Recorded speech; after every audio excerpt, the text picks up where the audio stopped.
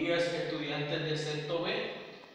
Voy a orientarles este video sobre las propiedades de la potenciación para que les sirva de apoyo y base para solucionar ciertas actividades que están en ese de aprendizaje. Propiedades de la potenciación del telos.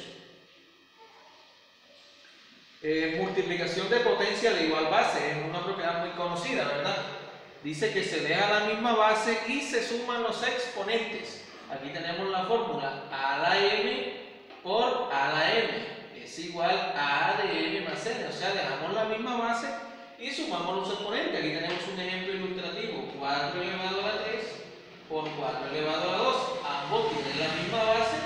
Simplemente sumamos los exponentes. 3 más 2 que me da 4 elevado a la 5.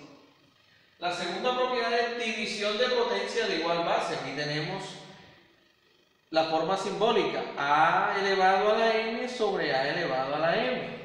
Dice que se deja la misma base y se restan los exponentes en la división.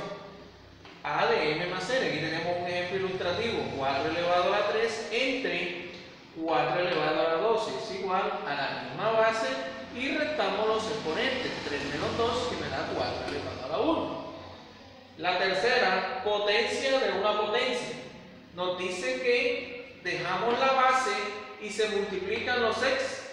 Aquí tenemos un ejemplo, 4 a la 3, un corchete sobre 2 es igual a 4 de 3 por 2 que me da 4 elevado a la 6. Nos dice, potencia de un producto es igual al producto de las potencias. Aquí las bases son distintas. Aquí tenemos 4 por 3 elevado al cuadrado, igual a 2. Ambas bases se elevan al mismo exponente. Aquí tenemos 4 elevado a la 2 por 3 elevado a la 2. Y eso es igual. 4 elevado a la 2 es 4 por 4, nos da 16. Por 3 elevado al cuadrado es 3 por 3, nos da 9. Hacemos este producto, 16 por 9 nos da 144. La quinta propiedad nos dice que todo número elevado a la 0 siempre es igual a 1. A elevado a la 0 es igual a 1. Tenemos un ejemplo. 2 elevado a la 0 es igual a 1. La última propiedad, cociente de una potencia, es igual al cociente de las potencias. Entonces, aquí las bases son distintas y se elevan al mismo exponente. 4 tercios al cuadrado es igual a 4 elevado a la 2 entre 3 elevado a la 2.